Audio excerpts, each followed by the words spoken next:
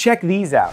These photos are out of Greece, where the Olympic torch is officially lit for the summer's Paris Games. This ceremony has been a tradition since 1936, taking place in ancient Olympia, Greece, the birthplace of the Olympic Games. Fire was a sacred element to the ancient Greeks, and the flame is a symbol of peace, friendship, hope, and unity. It was lit by an actress playing the part of a Greek priestess at the ruins of the Temple of Hera.